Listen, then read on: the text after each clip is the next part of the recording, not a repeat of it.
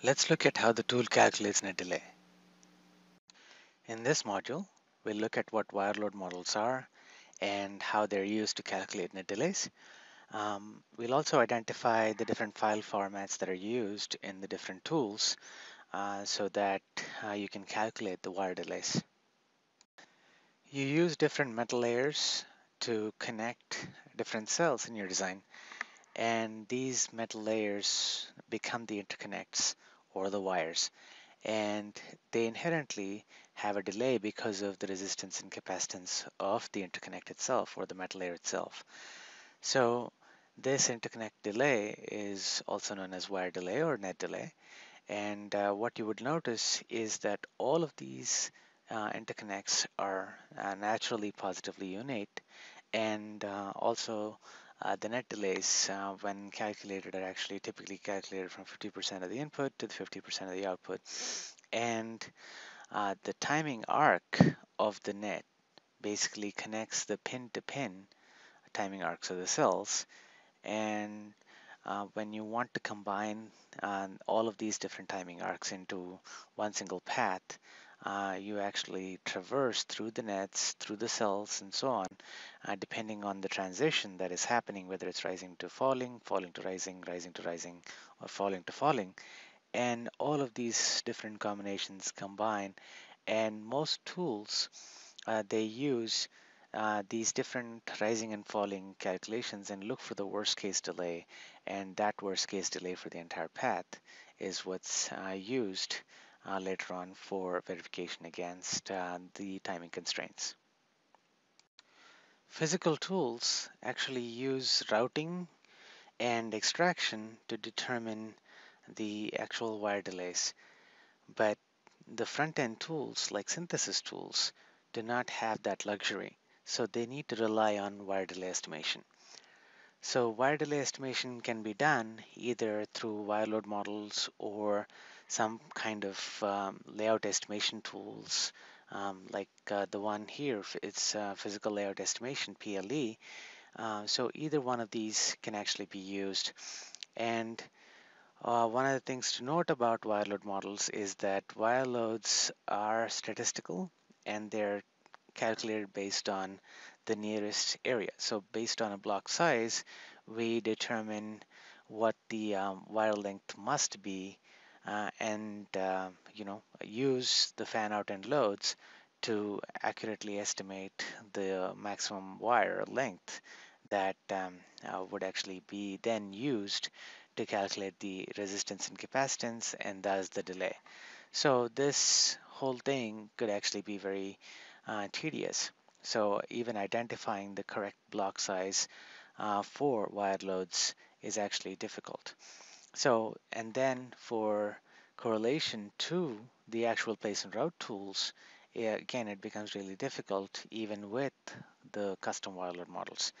So, uh, but one simple thing is that the wire load models are there and you can actually use them. Um, so Foundry supplies these wire load models and you can actually plug them in along with your libraries to calculate your delays.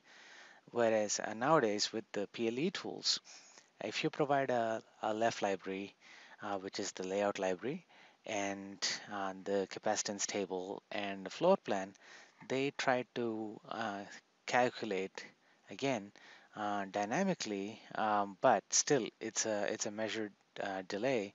But these uh, kind of correlation wise actually seem to be better than the wire models. So some of the types of uh, routing that you see here uh, are actually what is employed by the physical tools and now these wire load models and PLE should actually correlate to those uh, kind of uh, routing models. The wire load models are calculated based on the average statistical net length over many designs and therefore uh, because uh, you use this kind of Poisson distribution and determine uh, what is the average net length uh, for uh, those nets in a certain block size, you actually come up with these average statistical values that you then plug in to determine what is the corresponding RNC and C and uh, the resistance and capacitance.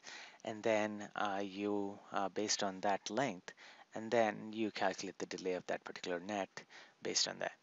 So obviously these are statistically weighted and uh, you have these wire loads that are sort of pessimistic because of that inherent uh, statistical behavior and they might be unreliable for uh, some designs.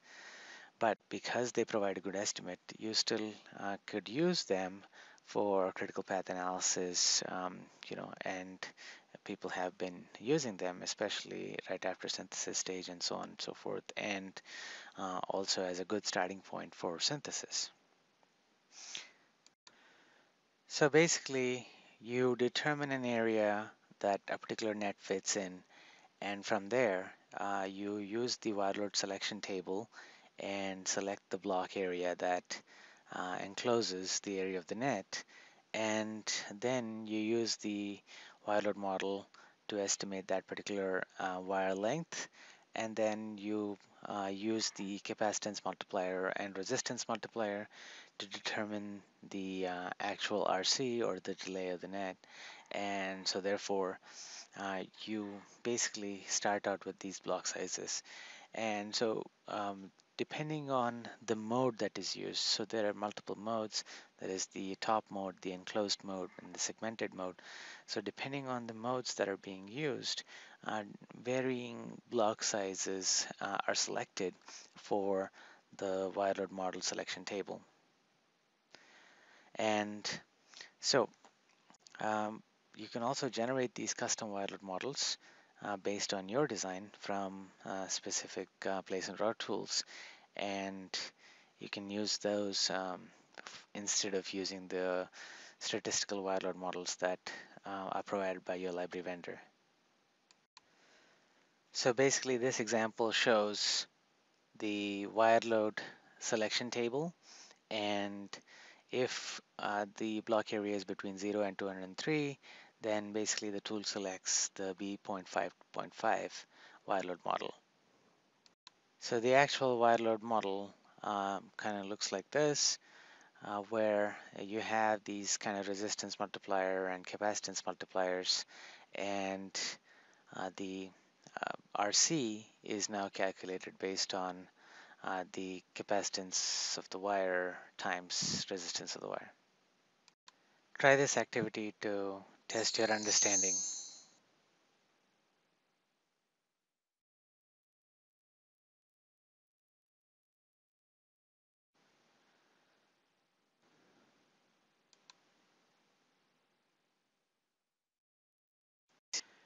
So when initially when you start out with your synthesis, uh, you're using the wire load models.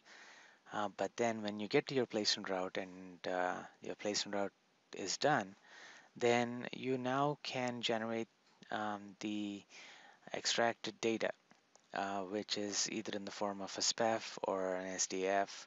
And uh, so this extracted data uh, can be passed back to your synthesis tools and this passing back is called back annotation. So you can actually uh, send that information back to synthesis to get more accurate uh, timing data for your net delays. And synthesis can now do a better job at optimizing the rest of the design based on the available information.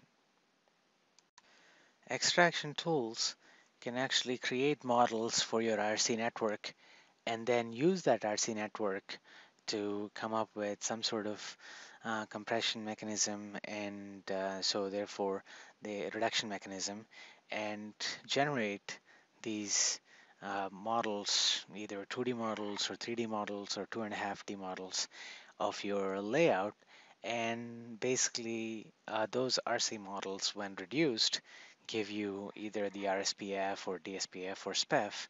Um, the SPEF is the widely used format and this is what is later on uh, by the delay calculators converted into actual delays. Uh, so, and you can actually take either the SDF to feed back into your synthesis or um, the SPEF itself uh, can actually be used to feed back. So either way, uh, this process is called extraction. So one of the steps of back annotation would be delay calculation. If we are feeding uh, the tools uh, delays of the nets, then obviously we need to have a delay calculator that actually does that portion of uh, converting your RC network into a delay network. And so that process is called delay calculation. And uh, usually uh, statistical um, uh, analysis requires uh, the net delays be provided uh, either through an SDF or um, you know the SPEF then converted internally through uh, the delay calculators and then used to plug in the net delays uh, when um, doing your optimization. So either which way, uh, those net delays are calculated and so delay calculation plays an important piece of your whole back annotation process and the accuracy of your uh, net delays depend on both the extraction tools as well as the delay calculation uh, mechanism that is being used. Different formats uh, provide different levels of accuracy and uh, run times. So some of the larger file sizes come with uh, longer run times and therefore uh, you know it may take more time and to actually generate these particular um, uh, uh, files. And of course, um, when you actually reduce them and make it simpler, it's actually easier for human interaction, it's easier to debug, and also uh, the delay calculation is actually something that is happening uh, in either the front end or the back end, depending on uh, where you uh, basically um, you know do your delay calculation. So you can start out with uh, DSPF uh, or you can start out with the SPEF and then uh, bring that information uh, directly into your synthesis tool and then let the synthesis tool do the delay calculation or you can actually do the delay calculation ahead of time and then bring in an SDF. So either which way, it all depends on um, what formats are being used, what the delay calculators. So you actually kind of, you know, uh, try and um, uh, justify the runtime with the amount of accuracy that you uh, prefer. And so you generate uh, these kind of correlation numbers that correlate between your uh, front end tools and your back end tools and uh, sacrifice some accuracy uh, so that you can actually meet your uh, design goals faster.